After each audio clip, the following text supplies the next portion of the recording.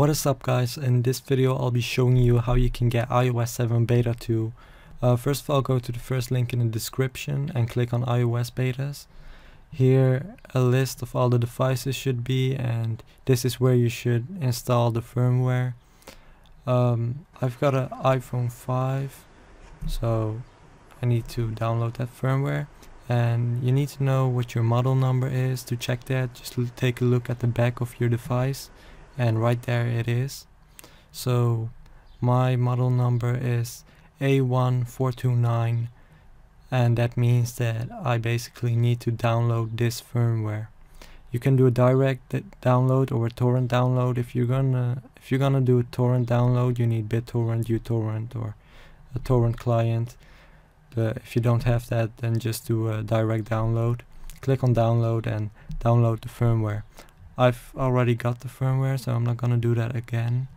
And um, there's my firmware. Now just connect your device to the computer. And um, iTunes should start up.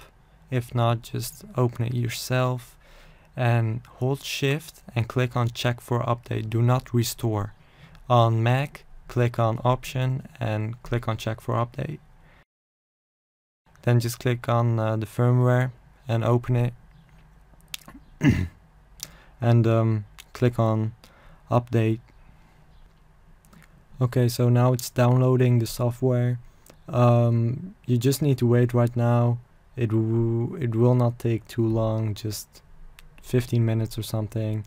Uh, your mobile or iPod or whatever you have will reboot and um, it should all work should all work perfectly then you can disconnect your device and you should have iOS 7 beta 2 so that's basically how simple it is. Um, if this helped you please give this video a thumbs up and thanks for watching